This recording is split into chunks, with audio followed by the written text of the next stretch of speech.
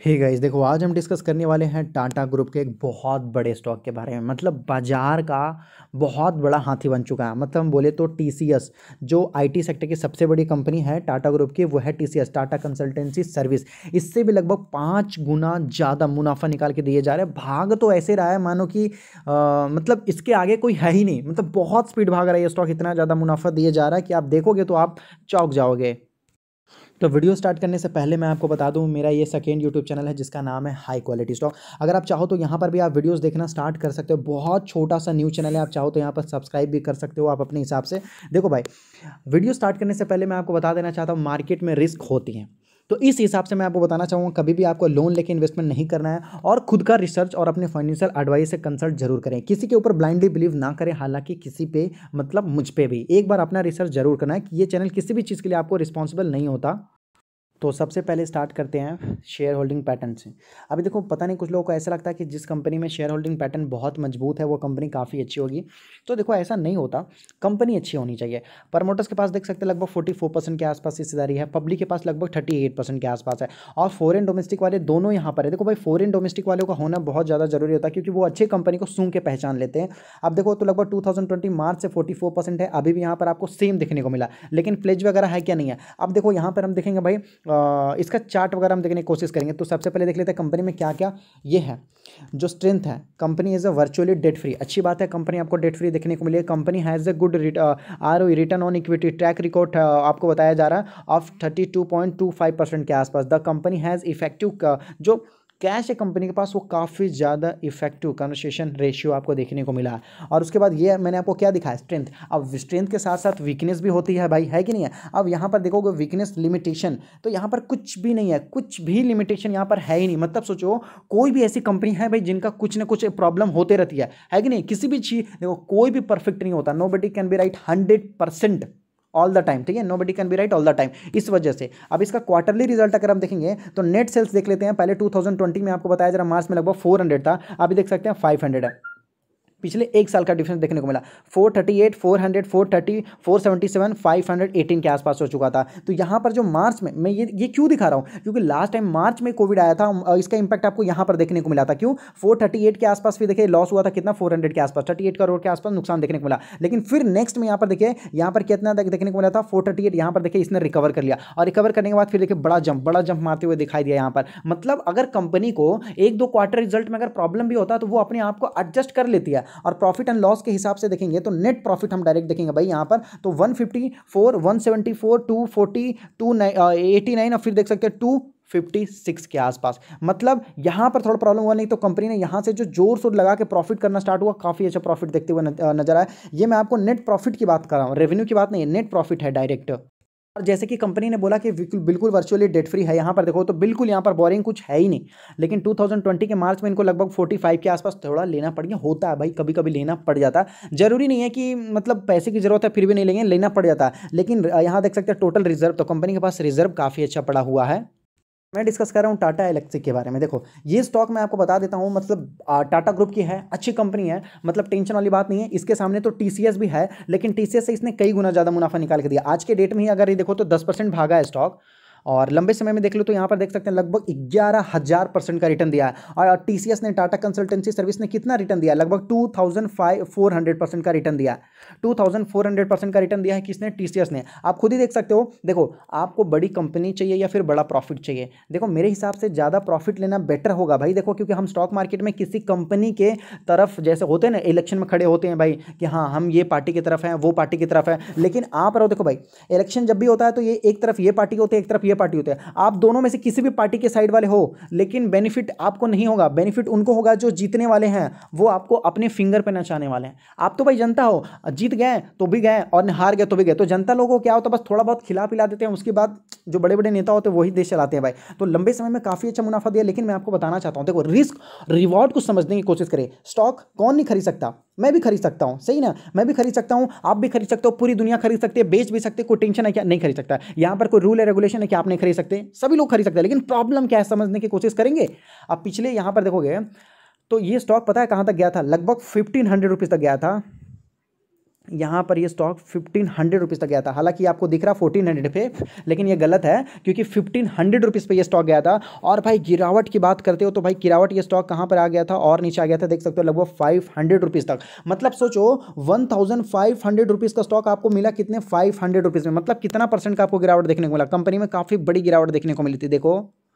कितनी बड़ी गिरावट देखने को मिली भाई? तो लगभग 58 परसेंट मतलब काफ़ी ज़्यादा 60 टू 65 परसेंट तक कंपनी में गिरावट देखने को मिली थी। मैं आपको बोलूँ तो राकेश झुंझुनवाला ने भी इस टाइम पे उन्होंने माल बेच दिया था, इस टाइम पे। भाई, इसीलिए बोलता हूँ कि जब गिरावट होती है तो सभी लोग बोलेंगे कि भाई कंपनी अच्छी नहीं है। लेकिन जब स्टॉक भागना स्टार्ट करेगा तो बोलेंगे, भाई कंपनी बहुत अच्छी है। और जब कंपनी देखो, अगर आपने यहाँ पर खरीद लिया, कल को कंपनी गिर जाएगा तो बोलेंगे, भाई, आपने हाई वैल्यूशन पर दे दिया खरीदने के लिए। हाई वैल्यूशन पर था कंपनी भाई, आपने बताया। लेकिन वही कंपनी अगर यहाँ से अगर और पचास परसेंट दौड़ जाए तो क्या गजब बताया था ना भाई अपने कंपनी को खरीदने के लिए। बहुत सॉलिड था। इसलिए मैं आपको बताना चाहता हूँ कि ऐसा कुछ भी नहीं होता, सही है?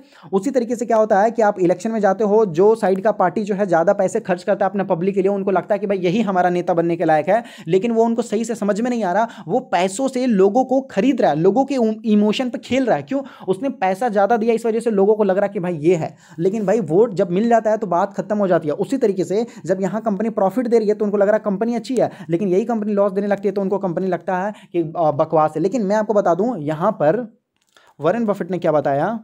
देख सकते हो, लाखों रुपया का नॉलेज ये आपको दिया जा रहा है भाई, वो भी फ्री में। ये मेरे तरफ़ से नहीं है, मेरी तरफ़ से नहीं है, ये वरिन बफेट की तरफ़ से है भाई, मैं आपको कहाँ से दे सकता हूँ लाखों रुपया का नॉलेज सही है? तो यहाँ देख सकते हैं, यहाँ पर इन्होंने क्या बताया? Be fearful when other are greedy सही है? And be greedy when other are fearful आपको लगता नहीं है कि भाई ये लाखों रुपया का मतलब नॉलेज दिया जा रहा है तो मैं आपको वो भी बता दूँगा, सही है? इन्होंने बताया कि बी फेयरफुल आपको डरना चाहिए, जब सब लोग लालच कर रहे हो मार्केट में, लेकिन आपको यहाँ पर देखना, आपको लालच करना चाहिए कब? जब सब लोग डर रहे हो तब। इसका नहीं समझ में आया अभी आपको समझा दूँगा।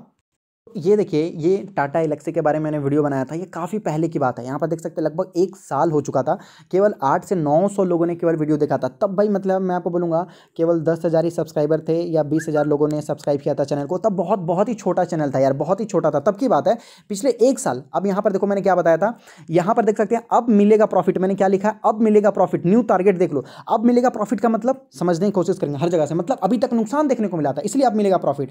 अब ये देखो, परफेक्ट भी में बताया जा रहा है, देखो भाई पूरा प्रूफ दिखा दूँ ना तो आपको भी लगेगा भाई क्या सही और क्या गलत है। वीडियो आपके सामने प्ले करूँगा। देखिएगा वीडियो प्ले होगा छोटा दिखाई देगा।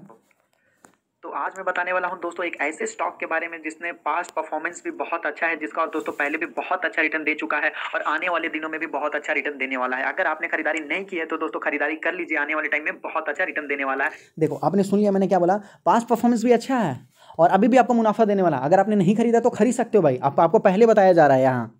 तो स्टॉक का नाम यहाँ पर देख सकते हैं दोस्तों टाटा का है। और एक बात मैं आपको बता देना चाहता हूँ। कितने रुपए चल रहा था? तब भाई इसका लगभग एट हंड्रेड रुपीज़ के आसपास ये स्टॉक दौड़ रहा था। एट हंड्रेड रुपीज़ के आसपास। अभी देखता हूँ जो वरिन बफेट ने बताया है फेयरफुल और जो ग्रीडी का वहाँ देखिए लाखों रुपए कैसे आते हैं जेब में।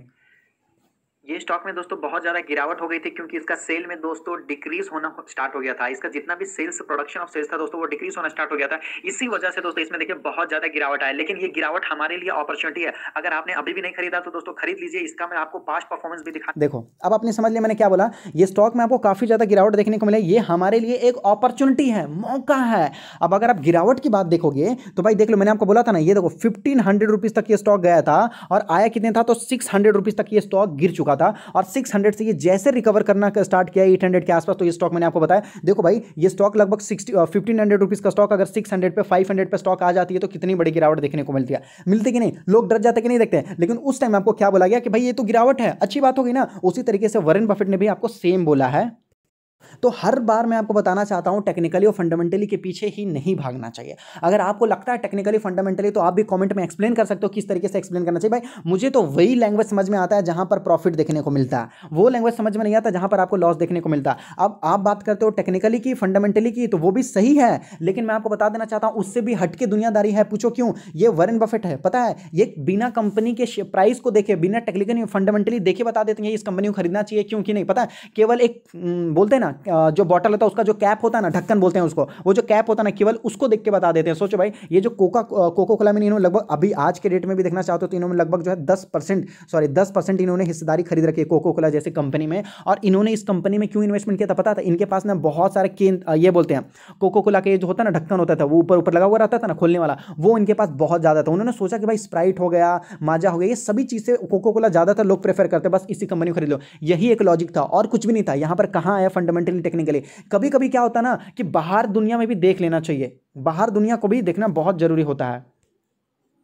और अगर आप इसी तरीके से बड़ा इन्वेस्टमेंट करना चाहते हो, काफ़ी अच्छा अगर आप प्रॉफिट करना चाहते हो मतलब मान लीजिए कि पूरा, मैं आपको क्या बोलो इन्वेस्टमेंट के लिए ट्रेडिंग के लिए नहीं तो आप हमारे साथ जुड़ सकते हो। हमारे पास आपको बताया जाता है नॉलेजेबल पेड पोर्टफोलियो क्या बताया जाता है आपको? नॉलेजेबल पेड पोर्टफोलियो फ्री नहीं होता, ये पेड होता है। तो देख सकते हैं, मैं आपको बता दूँ तो लगभग ऊपर वाला जो नंबर दिया जा रहा है, यहाँ पर देख सकते हैं, ये आपको कॉन्टैक्ट नंबर है। केवल आपको मिस कॉल माना है, ऊपर से आपको कॉन्टैक्ट कर लिया जाएगा। अगर नहीं किया गया तो नीचे दिए गए व्हाट्सअप नंबर पर आप एक बार व्हाट्सअप कर दीजिए, आपको कॉन्टैक्ट कर लिया जाएगा।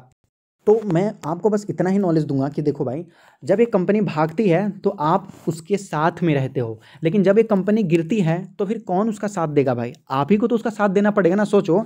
अगर आज के रेट में मान लो ये इंसान करोड़पति है तो आप इसके साथ हो, हर जगह में साथ हो।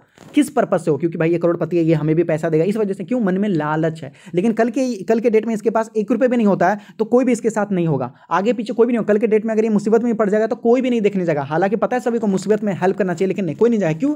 भाई, इसके पास है ही नहीं, मैं क्यों जाऊँगा? तो ऐसा नहीं देखना चाहिए। कभी कभी मानवता को भी सामने लाना चाहिए। इंसानियत बोलते हैं उसको ह्यूमैनिटी इंसानियत को भी बीच में लाओ। उसी तरीके से आपके पास अगर इंसानियत है, एक प्रॉपर अंडरस्टैंडिंग है तो आप मार्केट में पैसा कमा लोगे। वैसे भी कंपनी बुरी नहीं है, अच्छी है, लेकिन अगर आप लॉन्ग टर्म के हिसाब से देखते हो तो और आपके अंदर अगर एक बेयर कैपेसिटी है तो क्या आप मतलब जब होता है, जब मार्केट नीचे गिरता है तो क्या आप अपने आप को संभाल सकते हो? पेशेंस रख सकते हो? नहीं रख सकते हो? तो आपको रखना सीखना पड़ेगा। और भाई, मैं आपको बोलूँगा कि अपने फाइनेंशियल एडवाइजर और खुद से एक बार कंसल्ट किया करो। भाई, कभी भी कहीं पर अंधाधुन फायरिंग नहीं करना चाहिए। आग बंद करके फायरिंग करने से नहीं होगा भाई। हम हॉलीवुड हॉलीवुड हो गया बॉलीवुड हो गया टॉलीवुड हो गया, हम यहाँ मूवी नहीं देख रहे हैं। इस वजह से मैं बोला हूँ, सोच समझ के काम करें और कल के डेट में ऐसा ना कि किसी और के ऊपर ब्लेम ब्लेम अपने ऊपर ज़्यादा रिस्क लेना सीखना पड़ेगा।